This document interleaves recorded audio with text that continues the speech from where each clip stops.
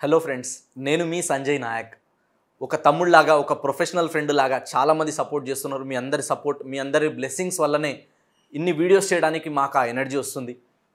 చాలా data research చేసి real estate related చాలా వీడియోస్ చూసి చాలా ట్రైనింగ్స్ తీసుకొని రియల్ ఎస్టేట్లో ప్రతి వారం నేను కనీసం మూడు గంటల టైం ఓన్లీ అండ్ ఓన్లీ నా ట్రైనింగ్ కోసం కేటాయించి చాలా విషయాలు నేషనల్ లెవెల్లో ఇంటర్నేషనల్ లెవెల్లో ట్రైనింగ్ తీసుకొని వాటన్నిటిని ఇంతలా గౌరవించే ఇలాంటి ఫ్రెండ్స్కి అందించాలి ఇలాంటి ఫ్యామిలీ మెంబర్స్కి అందించాలి.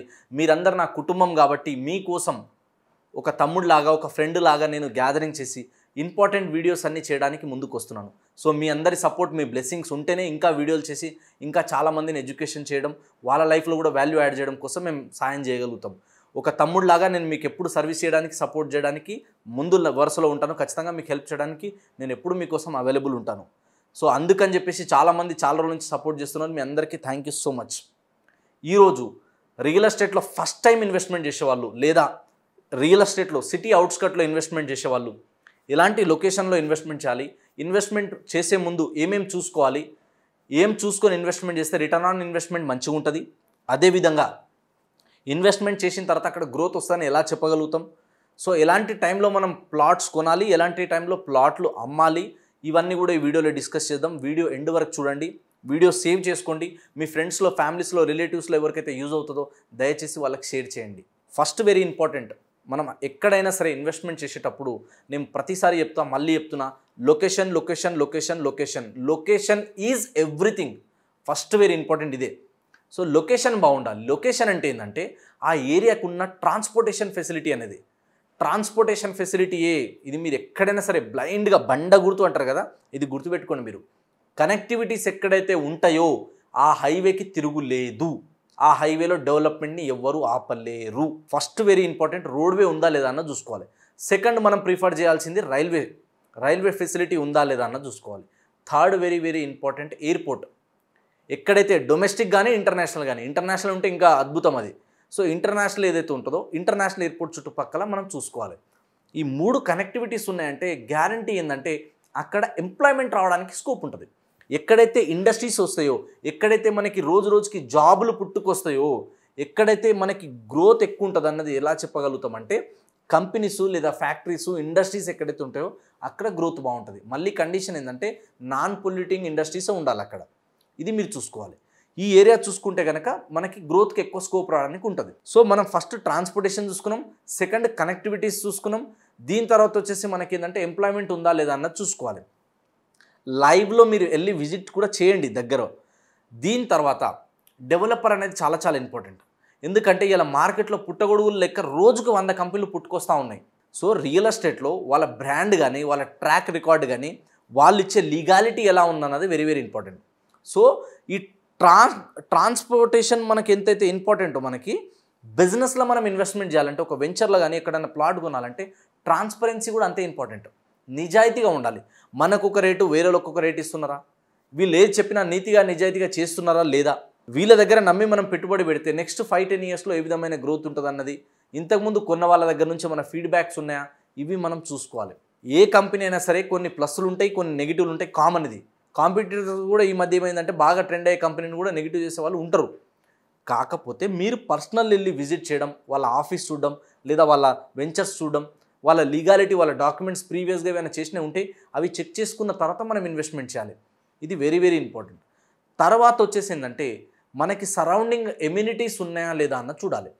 స్కూల్స్ ఉన్నాయా లేదా? కాలేజెస్ ఉన్నాయా లేదా? మనకు అన్ని రకాల గవర్నమెంట్ అఫీషియల్స్ నియర్ బై ఉన్నాయా లేదా? దీని తర్వాత షాపింగ్ కాంప్లెక్స్ ఎంటర్టైన్మెంట్ అన్నీ ఉన్నాయా లేదా? ఇవి చూసుకోవాలి. ఇవి చూసుకున్నప్పుడు ఏమవుతుందంటే మనం ఎక్కడో దూరం వెళ్ళ వెళ్ళాల్సిన అవసరం లేకుండా ఈరోజు మనం ఇక్కడ ఇన్వెస్ట్మెంట్ చేస్తే ఇక్కడ ఫ్యూచర్లో మనం ఇల్లు కట్టుకున్నా ఈ అన్ని ఎమ్యూనిటీస్ ఫెసిలిటీస్ మనకి ఎంత కిలోమీటర్ డిస్టెన్స్లో అవైలబుల్ ఉన్నాయి అన్నది చూడండి. రోడ్డు నుంచి దూరం దగ్గర అని చూడకండి. ఎంత డిస్టెన్స్ వెళ్తున్నాం మనము అక్కడ రావడానికి రేడియల్ రోడ్స్ ఏ విధంగా ఉన్నాయి సరౌండింగ్ ఎంప్లాయ్మెంట్ ఏ విధంగా ఉంది సరౌండింగ్ అట్మాస్ఫియర్ ఎలా ఉందన్నది వెరీ వెరీ ఇంపార్టెంట్. ఎందుకంటే ఎలాంటి అట్మాస్ఫియర్లో ఉంటే మనం అలాంటి మైండ్ సెట్ మనకు తయారవుతుంది కాబట్టి. అండ్ పిల్లలు రాను రాను ఇంకా ట్రెండ్ చేంజ్ అవుతుంది కాబట్టి మంచి కల్చర్లో మంచి ట్రెండ్ ఉన్న ఏరియాలలో అక్కడ మంచి ఫెసిలిటీస్ ఉన్న ఏరియాలలో పెంచితే వాళ్ళకి ఎయిర్ పొల్యూషన్ కూడా లేకుండా వాటర్ పొల్యూషన్ లేకుండా ఉన్న మంచి లొకేషన్లో మనం ఇన్వెస్ట్మెంట్ చేస్తే ఫ్యూచర్లో రిటర్న్ రావడానికి ఎక్కువ స్కోప్ ఉంటుంది. దీని తర్వాత మనకి ఎవరైతే సేల్ చేస్తున్నారో ఆ పర్సన్ కూడా ట్రస్ట్ నమ్మొచ్చా లేదా అన్నది వెరీ వెరీ ఇంపార్టెంట్ ఆయనకున్న నాలెడ్జ్ కావచ్చు ఎక్స్పీరియన్స్ కావచ్చు ఇప్పుడు మార్కెట్లో చాలా కంపెనీస్ అయిపోయినాయి. చాలామంది బిగినర్ లెవెల్లో ఉంటారు. వాళ్ళకి నేను ఒక చిన్న సజెషన్ ఏంటంటే మీకు ఎవరైనా కొత్త పర్సన్ వచ్చి ఏదైనా చెప్పినప్పుడు మీకు ఆయన నమ్మాలా వద్దా అనిపించినప్పుడు కానీ ఆ లొకేషన్ లేదా అక్కడ డెవలప్మెంట్ బాగుంటుందని మీకు అనిపిస్తే దయచేసి వాళ్ళకి ఏం చెప్పాలంటే మీ ఆఫీస్లో లేదా మీ సుపీరియర్ ఎవరైతే ఉన్నారో సీనియర్ లెవెల్లో వాళ్ళు ఆల్రెడీ ఎక్స్పర్ట్స్ ఎవరైతే ఉన్నారో వాళ్ళని పిలవండి. లేదా వాళ్ళతో టైం మీరు ఒకటి చెప్పండి మేము వచ్చి కలుస్తామని చెప్పి వాళ్ళతో వెళ్ళి మీరు కూర్చొని డిస్కస్ చేస్తే ఇంకా బాగుంటుంది. ఎందుకంటే బిగినింగ్ లెవెల్లో ఉన్న వాళ్ళకి అన్ని చెప్పడం రాకపోవచ్చు వాళ్ళకి తెలియకపోవచ్చు. సో రియల్ ఎస్టేట్లో మినిమం ఐదు సంవత్సరాల కన్నా ఎక్కువ ఎక్స్పీరియన్స్ ఉన్న పర్సన్తో మీరు కూర్చుంటే ఒక పర్టికులర్ ఏరియా గురించి మాస్టరే ఉంటారు ఆయన. సో వాళ్ళు చెప్పగలుగుతారు. ఇప్పుడు నేను లాస్ట్ ఫోర్ ఫైవ్ ఇయర్స్ నుంచి నేను రియల్ ఎస్టేట్ ఇండస్ట్రీలో ఉన్నా. రియల్ ఎస్టేట్ ఇండస్ట్రీలో నాకు చాలా వెంచర్స్ గురించి ఐడియా ఉంది చాలా వెంచర్స్ హైవేల గురించి ఐడియా ఉంది. కానీ నేను మాస్టర్ చేసిన ఎక్స్ ఏదైనా ఎక్స్పీరియన్స్ ఉంది ఏ హైవేలో ఉంది అంటే పర్టికులర్గా ఒక నాలుగైదు లొకేషన్లో మాత్రమే ఐఎమ్ ద మాస్టర్ ఆ లొకేషన్లో నేను కస్టమర్ని తీసుకొని వెళ్ళగలిగితే ఈజీగా క్లోజ్ చేయగలుగుతా. ఎందుకు? ఆ పర్టికులర్ హైవేలో అక్కడున్న డెవలప్మెంట్ నాకు తెలుసు కాబట్టి. మిగతా హైవేలలో మేబీ నేను అంతగానం చెప్పలేకపోవచ్చు డెవలప్మెంట్స్ కాకపోతే ఆ హైవేలలో నాకున్న గ్రిప్ అది. కాబట్టి మీకు చెప్పే సజెషన్ ఏంటంటే మీరు ఒక ఏరియాలో ఇన్వెస్ట్మెంట్ చేయాలనుకున్నప్పుడు అందులో మినిమం ఒక five years and above experience ఉన్న పీపుల్తో మీరు కనుక కాంటాక్ట్ అయితే అద్భుతంగా ఉంటుంది. తర్వాత కంపెనీ ఇచ్చే లీగాలిటీ కావచ్చు వాళ్ళు ఇచ్చే డెవలప్మెంట్ కావచ్చు వాళ్ళ దగ్గర ఉన్న ఫెసిలిటీస్ ఎమ్యూనిటీస్ ఇవన్నీ చూసుకున్న తర్వాత మనం ఇన్వెస్ట్మెంట్ చేయాలి. అండ్ అవుటర్ రింగ్ రోడ్ దాటి మనం regional ring road regional ring road దాటి కూడా చాలామంది వెళ్తున్నారు. కొన్ని హైవేలలో వంద నూట ఇరవై కిలోమీటర్ దాకా కూడా వెళ్తున్నారు. అక్కడ డెవలప్మెంట్స్ ఉన్నాయంటే కనుక మీరు ఎంత దూరం అన్నా చూడకండి. ఎందుకంటే రాను రాను ఇంకో పది సంవత్సరాల తర్వాత మీకు కొంచెం తక్కువ రేట్లో బంగారమైన దొరుకుతుందేమో కానీ భూమి దొరకడం కష్టమైపోతుంది. కాబట్టి భూమి మీద పెట్టుబడి పెట్టాలనుకున్న వాళ్ళు భూమి ఉంటే ఒక భరోసా ఉంటుంది భూమి ఉంటే ఒక నమ్మకం ఉంటుంది భూమి ఉంటే ఒక నిబ్బరం ఉంటుంది మనకి ఒక ధైర్యం ఉంటుంది భూమి ఉంటే అని ఎవరైతే ఆలోచన చేస్తున్నారో నేల తల్లి మీద నిలబడి మనం మొక్కి ఖచ్చితంగా ఇక్కడ మంచి రిటర్న్ రావాలి ఇక్కడ పెట్టుబడి పెట్టేది ఒక మొక్కలాగా నేను పెట్టుబడి పెడుతున్నా రేపటి రోజు ఇది ఒక వృక్షంలాగా అవ్వాలని మనసులో కోరుకొని మీరు పెట్టుబడి పెట్టగలిగితే అద్భుతమైన రిటర్న్స్ వస్తాయి.